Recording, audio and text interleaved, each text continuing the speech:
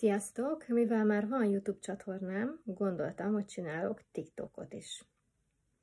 Hát most egy picit szeretnék panaszkodni nektek arra, hogy nem sok követőm volt még a TikTokon, és többnyire a kirándulásainkról, a dekorációs munkáimról, és a kislányommal való együtt közös bohóckodás, táncikálás, ilyesmikről tettem fel videókat.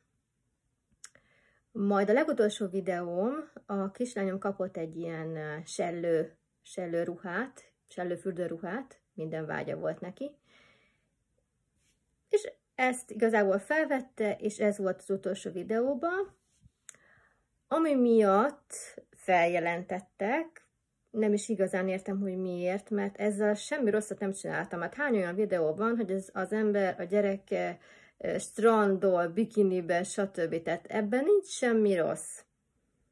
Majd tiltottak, és törölni fogják a fiókomat, amit nem igazán értek, mert félpucér messzelen nők fehér neműbe, nagy fehér szárnyakkal végig tudnak vonaglani az utcán, fényes nappal, és mindenki őt videózza, az nem sértő, és azt a fiókat nem törlik? Az sértő, hogy egy kislány egy cukis előjelmezt vesz fel? Hát ez már mindennek a teteje, nagyon felháborító. És azt írta a TikTok, hogy fellebbezni tudok. Ugye le kell fotozzam az okmányomat. Hát fellebbeztem, és nem fogadták el az okmányt. Úgyhogy most még egyszer megpróbálok fellebbezni. Tehát még el se fogadja a születési dátumomat, pedig nem gyerek vagyok. Nagyon-nagyon nagyot csalódtam a TikTokba.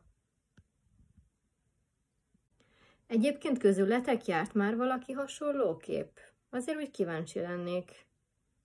Mi alapján, mégis mi alapján uh, tiltsák és törlik a, az embereket? Most, ha elérsz egy, egy nagyobb mennyiségű követőt, amiben rengeteg munkád van a videó megszerkesztésekkel, és a végén meg mondjuk tiltanak és törlik, és oda veszed minden egyes munkád.